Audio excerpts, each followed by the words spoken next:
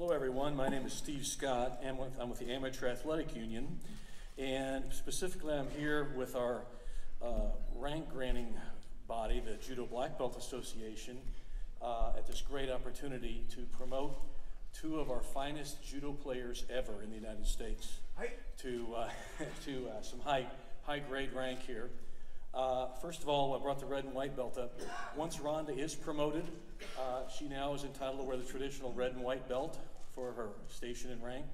So rank really is, our belts really hold our judo gis together, our jackets together, really. That's the ultimate purpose. But it also has two significant factors, the rank does, and is that uh, your standing and your relevance in the world of judo or martial arts, and also your technical expertise. And these two women have abundance of both.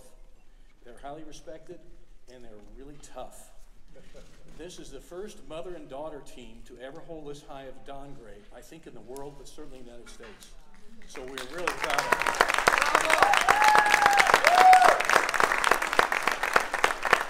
So AnnMaria already has and wears her red and white belt on special occasions. So uh, without further ado, I would like to promote Dr. AnnMaria DeMars to her seventh grade black belt.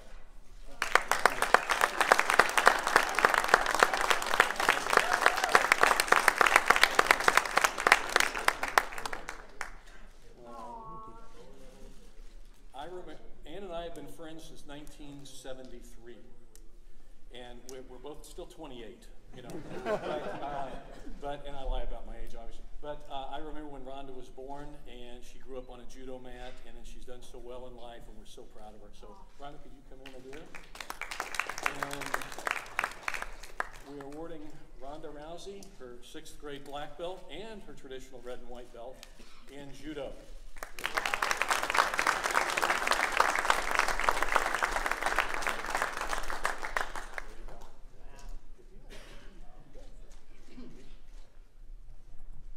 When I was young, they told women that you had to wear a black belt with a white stripe on it because women's rank wasn't as good as men's. And I said I wasn't going to do it. And if anybody could make me put one on, I would wear it. And I have yet to wear it. And now I have a red and white belt, and it doesn't have a stripe on it either. And I just wanted to say to all you guys that want to put women down, and I know none of you are probably here, I'm not leaving, and I bred more like me.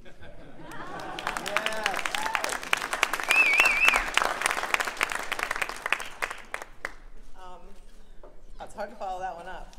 Uh, you know what's funny is I didn't even know that red and white belts were a thing when I was a kid, and I saw some other kids from. We went to like some national, junior nationals or something. I saw these other girls had you know white stripes in their belts, and I'm like, why did they get white stripes? You know, I thought it was like an accessory, like you know, like a hair beret. And I'm like, oh, hey, wow, I'm like white stripes, right? Those are cool. She's like, no white stripes. I'm like, oh god. okay.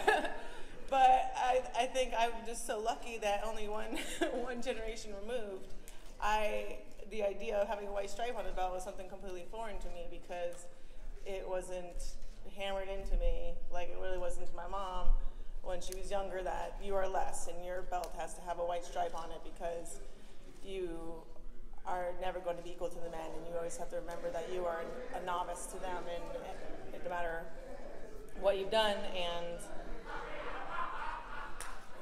it's funny that um,